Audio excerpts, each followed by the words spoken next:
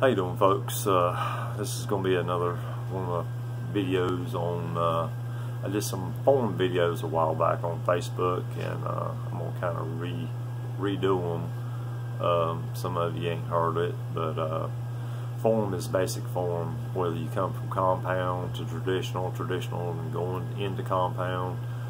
Your basic form is your basic form from one bow to the next. You know, the only difference in maybe traditionally not using a release aid, using your fingers, whether it's three under or split or a thumb, a thumb ring. Uh, but form is basic form. Uh, I've heard, seen plenty of posts that where somebody says, you know, well, I don't worry about form, you know, out in the woods, but form is still form to make good shots, whether in the woods, in a tree stand, or on the ground. I mean, I've got myself in plenty of positions. I hunt a 62 inch bow out of a tree stand when I do hunt a tree stand, but a lot of times I'm on the ground. Sometimes you gotta, you know, reach around, you know, but basic form is basic form. And, you know, keeping your whole form triangle in your upper body, I care less what my lower body does. And I've had to do that in uh, 3D shoots where I had my left leg kind of out in front of my right leg, but I still had to maintain an upper triangle. So we'll break down, what I'm going to do is break down the form in small pieces. And, you know, one of the first things is that you got to, you know, mess with is your mind. Uh, your mind is part of your form. You know, as you go through, you know, your hand placement on the bow grip, uh, your anchor points, all that's checked by your mind. And if you don't hit them consistently, you'll get it, you know, locked in there. And the main thing with your form is is have something that you can go to that's repeatable. It's the same way with compound shooting with a release. I came from compound and got and started shooting traditional and uh, I found out real quick my form was not and I knew I had bad form from compound shooting. Uh, it's, it didn't show up at 30, 40 yards. It showed up at 60, 70, 80 to 100 yards. But with a traditional bow, it'll help show you the errors in your form about immediately, even as close as three to five yards. Uh, you know, for new for new people, we're you know uh, that's just starting out. Uh, you'll have to basically get yourself tuned, you know, get your form down, get your release, because if you start trying to tune arrows and tuning, you know, your bow a little bit, you know, I try to tune for hunting, tune for quiet, then I take the same the same setup and take it to say 3D shoots or any other type of competition. So uh, with me shooting for Martin archery, you know, I'll be, I use this bow, which is a, a Savannah Stealth. It's a Damon Howatt Savannah Stealth. It's a hybrid reflex deflex, so it's kind of a, it's it's a long bow, but it's actual, you know, across from a long bow to a recurve. So uh, that puts me in a traditional class, not just a longbow class. So, uh, but you know, form is repeatable. You know, no matter what you do, uh, I don't care. You know, but if you're just like I said, if you're starting out, kind of jumping around, but if you're starting out, you know, you're gonna have to get yourself tuned, get your form good enough to start tuning your arrows, and we'll get into that on down. But uh, and you know what I did was basically you know have fun, and it takes it takes some people a shorter amount of time to get their form down where they can start tuning. It took me a little while, uh, and trying to ask questions and figure out. I've ruined about a dozen arrows, and not knowing, you know, and that was you know there's plenty of stuff out there, plenty of information on the internet, but you know, I went ahead after about four months was trying to tune my arrows and I ended up losing out, you know, on some gold tip traditionals, you know, uh, I think I was using the Blims and, you know, 60 bucks to 60 bucks, you know, for a full dozen and you know, I cut them too short. And as my form got better, it started showing up. So we're going to take the form, you know, your mind starts the whole thing, how you perceive your target.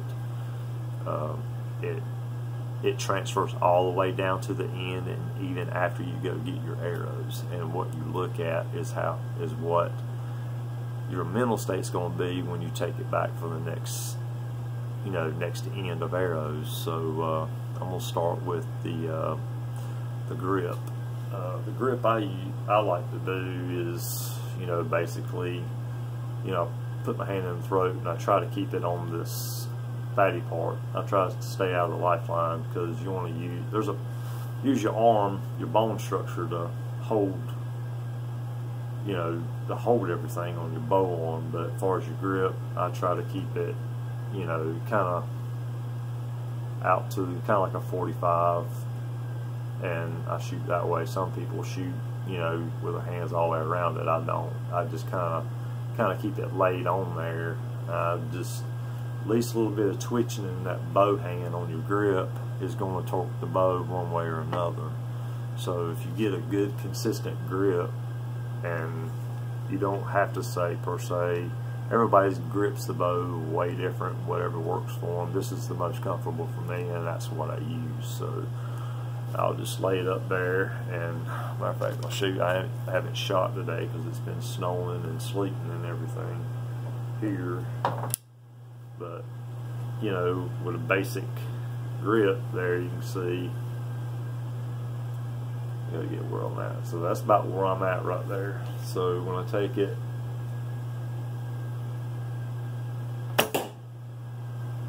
and I just you know just let I don't try to grab the bow I just kind of keep my hand around my finger around it just enough to catch it so I'm not even trying it's not going to fall or nothing like that but uh, you know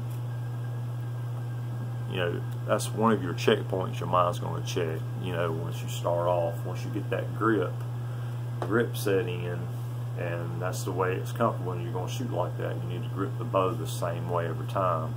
If you start, you know, white knuckling it, what we call, uh, or what I call it, where your knuckles, you're grabbing the bow and trying to hang on to it, you're going to find yourself your bow arm's going to go all over the place and your arrows are going to go all over the place because you might grip it too hard one way, torque it to the right, it could slant and go off to the left a little bit and you'll, you'll forever chase your tail so always try to keep a, a light grip, a relaxed grip on it. And when you draw back the weight of the, the draw weight of the bow is going to keep it in your hand.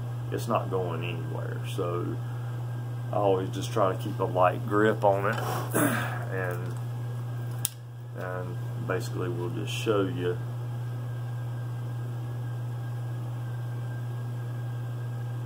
so here I ain't got it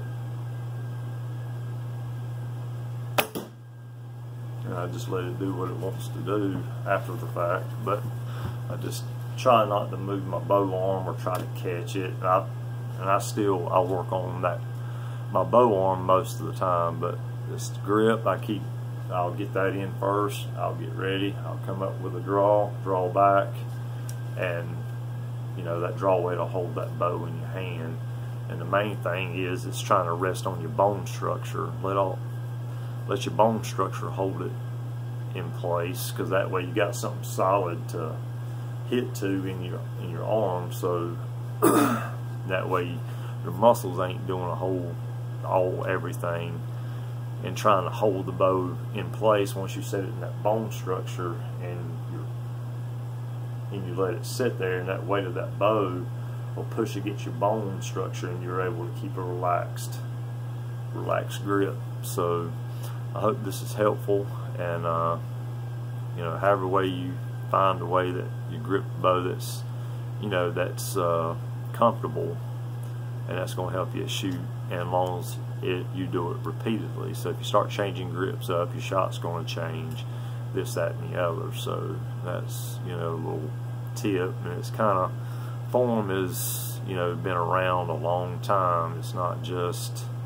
you know, from videos I watched. I've seen some older videos that were recommended to me by uh, Jeff Kavanaugh you know, and like John Schulz. John Schulz made video, made a, a video that I recommend everybody to watch. is on a Howard Hill style of shooting, and everything that he does and talks about is the basic form that's repeatable, and that we do now. And you'll have people just come along and just remind you as you go along, and and it's a good thing to remember. So that's a good form is your base foundation on how you're going to shoot. If you got bad form, bad shots, and that's the result of it. And if you want consistent shots, is working on your whole form, your whole shot process, and we'll break it down uh, after my next video will be on the bow arm, and that's something I work on most of the time because that gives me my left and right misses, up and down misses,